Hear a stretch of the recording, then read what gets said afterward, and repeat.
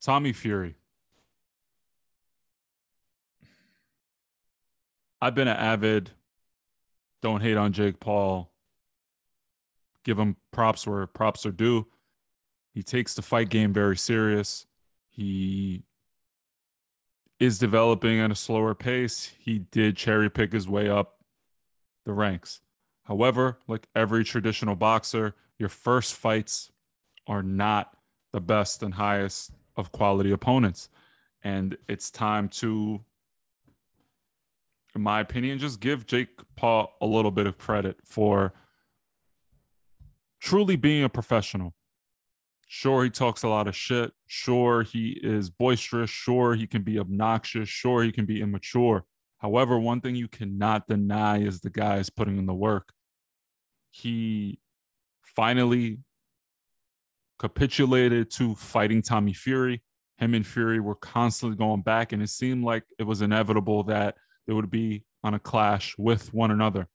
Tommy Fury, having the vaunted and well renowned Fury name, was tremendously favored.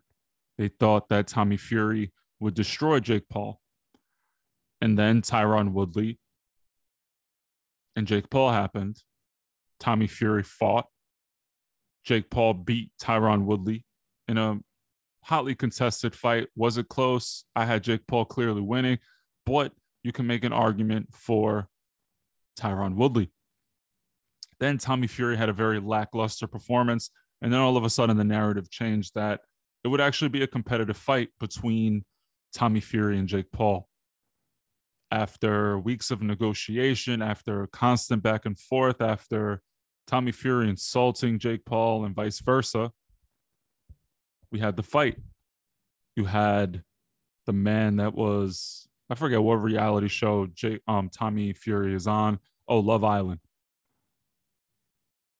And you had Jake Paul, who was a YouTuber, someone that oh is bad for boxing. Oh, you know, he isn't a real fighter whatever whatever that means. I think anybody that gets in the ring is a real fighter, but at the end of the day, he's fighting in a boxing match with a boxer, right? This was supposed to be his test.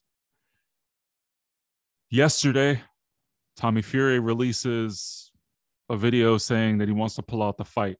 Now, after all the shit talk, after Tyson Fury saying Tommy could be sick, ill, broken rib, whatever. I don't know how he prognosticated that that was the case, but evidently Tommy Fury has a bacterial infection and a broken rib. Now, initially when I read this, I'm like, oh my God, this guy's ducking. Can't believe he's pulling out the fight. But you have a bacterial infection in your lungs, you're coughing. Believe it or not, a lot of people don't realize when you do have deep coughs and you do cough, the ribs have a propensity to break. I'm not sure why. I don't know if it's the way your body jerks, whatever. But Tyron Woodley being ready has been in training, took the fight. Getting paid half a million dollars. Good for Tyron Woodley. I think he's made more money in the UFC. I mean, he's made more money in the last two fights with Jake Paul. Even has a 500k bonus if he knocks Jake Paul out. Bravo to him in the highlight in the the twilight of his career. However, I'm not going to lie to you. This makes Tommy Fury look horrible. And I'm not going to be too harsh on the guy and say he's lying, but you're just giving ammunition to Jake Paul. And that's the last thing you want to do. You're buying in, feeding the narrative that Jake Paul will beat you and you're afraid. Because truthfully, I'm not going to lie to you that if Tommy Fury loses to Jake Paul, I think even Tyson Fury gets an L on his record at this point, right? Because he carries a Fury name. John Fury, Tyson have talked so much shit. Tommy Fury himself has said, Oh, I'm going to kill this kid. And then you pull out two weeks before the fight, biggest fight of your career. And now you look like a duck. I know you're sick, and I'm very cognizant of the fact that health is wealth and money is not worth your health. But you can't be mad when Jake Paul says you're afraid of him because one, you didn't initially want to take the fight. You thought it was beneath you. You didn't want to get paid the biggest payday of your life to take the fight because you felt you were getting outpriced or underpriced. And then now a week beforehand, you or two weeks beforehand, you pull out. It's not looking good. And the fact that Jake Paul gets the rematch, I don't know if that was in the cards because they also kind of prognosticated that as well. Maybe the fight wasn't as big as people thought. Who knows? But I wish the best for Tommy Fury if he is sick. But you're going to have to shut up and just eat it.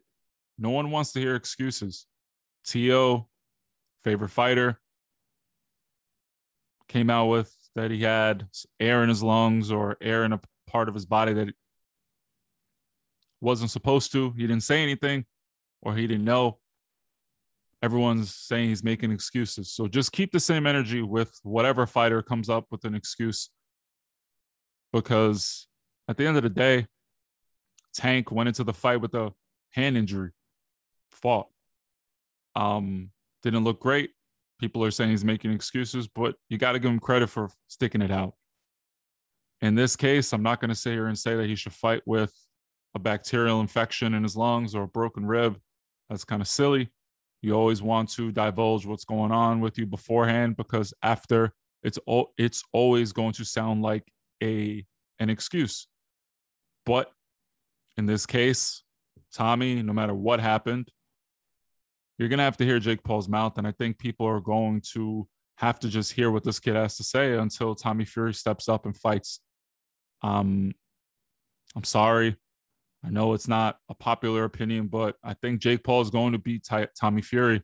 And I don't think he was ready for the fight. That's my prognostication and my thoughts on the whole thing. I am not a Jake Paul fanboy. I am not a Tommy Fury hater. I just think in this particular case, something went wrong. He wasn't ready.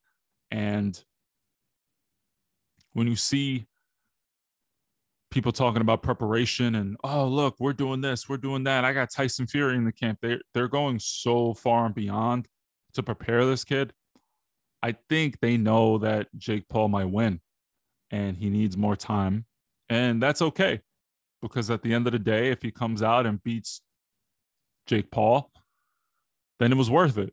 You know, it's worth all the shit that he has to hear right now.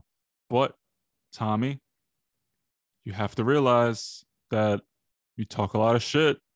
You're gonna have to eat a lot of shit, and that's okay. You know, you going on film saying, "Oh, I had a bacterial infection."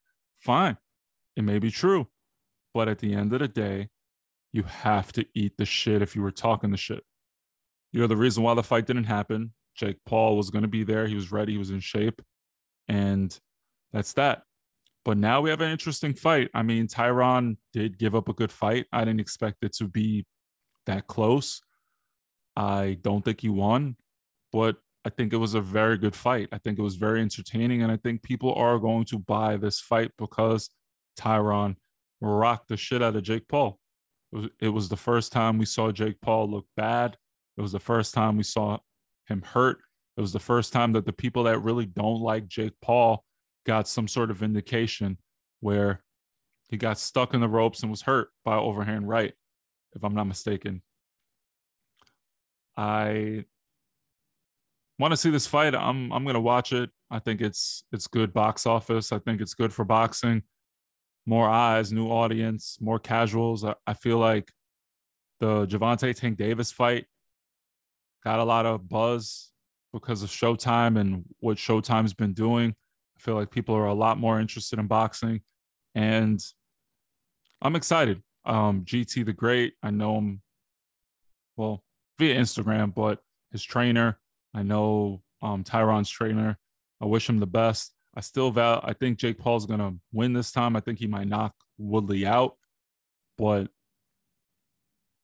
Tommy, you got to just eat your L, be quiet, work in silence. I don't want to see you on Instagram talking about, oh, I'm ready for, I don't want to see you training.